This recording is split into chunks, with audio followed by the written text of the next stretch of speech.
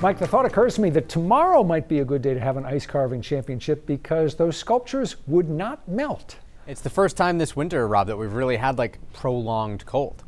It's about time. I mean, you know, it's the middle of January. We expect this at some point. This the is coldest. due. Yep. Yeah, I mean, we, we saw our coldest temperature so far this winter just a couple of days ago.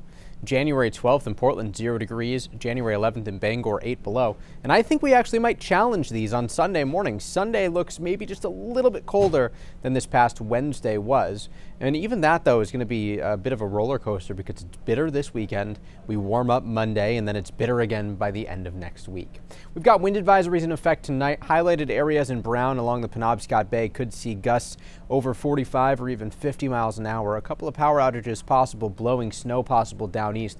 And I wouldn't be surprised to see that wind advisory get expanded because gusts are going to be coming straight out of the north between about 35 and 45 miles an hour. So lower end on the advisory criteria according to the National Weather Service, but certainly enough that we are going to feel it and it's going to make it feel much colder outside once that bitter air rolls on in. We've got a storm off to our east today. This is really going to pack a punch for Nova Scotia and the Canadian Maritimes. Locally, we have this snow band that's set up across parts of Hancock and Washington counties. We might even get some snow all the way to uh, Hampden and Bangor out of this one.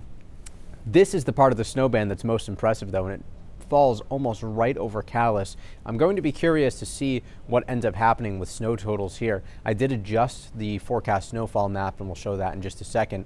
But notice that even models have generally been too far south and east with this. By 2 o'clock today, this model doesn't show much of anything going on in Maine, but we already know that's not the case. So I expect a lot of this data to start to shift off to the north and west and show more persistent snow through parts of Washington County. Temperatures are only going to be in the single digits below zero as early as 8 or 9 o'clock north of Bangor. And this is where we start the day off tomorrow. Temperatures near or below zero just about everywhere. Factor in the wind gusts. It's going to feel more like it's 30 to 40 below across most of New Hampshire and Maine at the coastline, more like 20 to 30 below.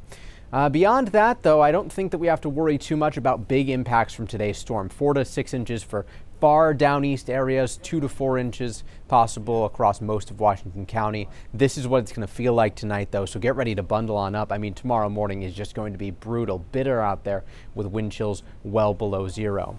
Cold air settles in for tomorrow lingers on Sunday. We track our next storm on Sunday. Two possible scenarios. This one is most likely, though, where we have the storm actually run inland. We end up with heavy snow throughout the mountains in New Hampshire. The coast starts with snow either way, but then eventually ends up with rain and maybe some wind. But there is still just a few chances that we end up with a coastal hugger here, which would be a little bit more snow widespread. I don't have a snowfall map for Monday just yet, but as soon as that comes out, I'll let you know. Gale warnings go into effect this evening. Seas will build 4 to 7 feet later on. North wind 20 to 30 knots, gusts to 45 knots. Bitter this weekend, snow and ice inland on Monday. Sunshine returns on Tuesday, but it is going to be cold and windy on Tuesday. We could see a few snow showers on Wednesday, Rob, and then by the end of next week, there's some signals that again will pull in Arctic air for next weekend. All right. Thank you, Mike.